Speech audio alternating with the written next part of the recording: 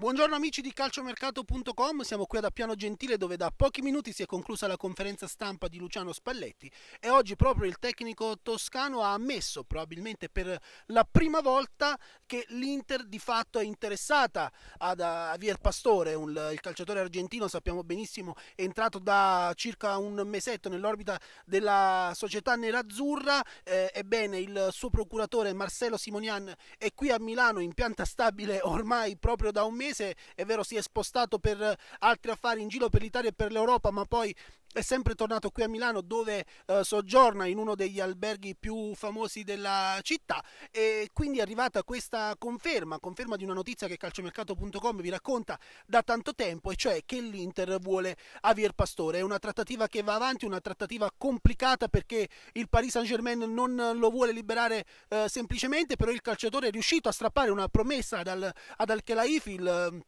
il presidente della società eh, francese e sappiamo che il calciatore lì eh, è trattato eh, con, con, i guanti, è un, è un, giocatore a cui la, eh, la, società, la proprietà parigina eh, tiene molto e il calciatore ha voglia, ha voglia di giocare, ha voglia di eh, andare a prendersi nuove esperienze per potersi guadagnare quel mondiale a cui tiene tanto e non giocando a Parigi è chiaro che tutto questo possa essere messo in discussione. Pastore ha chiesto una cessione cessione, lo ha chiesto con i modi giusti, i modi che sono uh, piaciuti a Parigi e quindi faranno qualcosa per accontentarlo e l'Inter dal, uh, dal, proprio canto farà qualcosa per andare incontro a quelle che sono le richieste del PSG che non vuole darlo in prestito, uh, vuole monetizzare dalla cessione